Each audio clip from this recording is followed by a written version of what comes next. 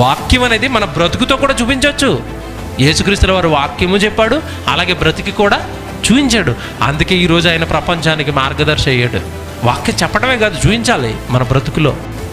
భర్తకు లోబడుతున్న ప్రతి స్త్రీ నేను ప్రారంభంలో చెప్పాను కదా భర్తకు లోబడుతున్న ప్రతి స్త్రీ అలంకరించబడుతుంది. సాధురాలండి మృదురాలండి ఆవిడ చాలా మంచిదండి. తన భర్త మాటను మేరదండి.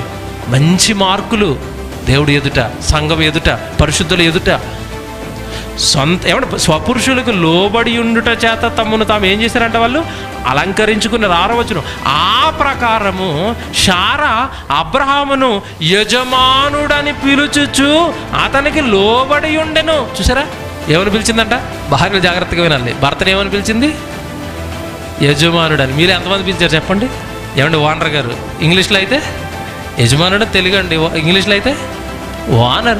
ఏమండి ఓనర్ గారు బాగున్నారా? అన్నారా ఎప్పుడైనా ఎప్పుడైనా ఎలాంటి పిలుపు ఉంటుందా? యజమానుడు. పిలుపు పిలుపు గురించి కూడా మాట్లాడుతున్నాడు చూడండి దేవుడు. భార్య భర్తను పిలవాల్సిన పిలుపు గురించి కూడా మాట్లాడుతున్నాడు. షారా ఎలా పిలిచిందంట?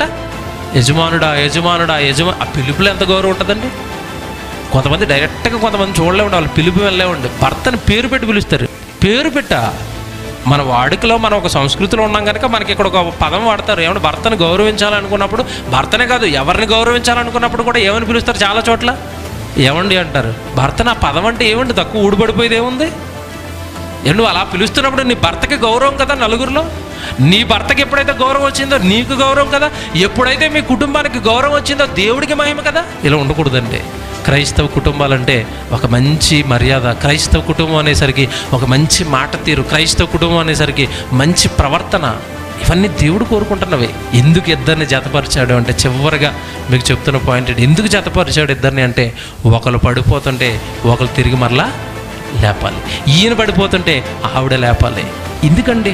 వివాహం అనే బంధం పెట్టి స్త్రీ పురుషులను ఏకం చేసి భార్యగా భర్తగా ఒక కుటుంబాన్ని పెట్టి ఆ కుటుంబానికి ఇన్ని చట్టాలు పెట్టాడని ఎవరికి తెలుసండి ఇవన్నీ?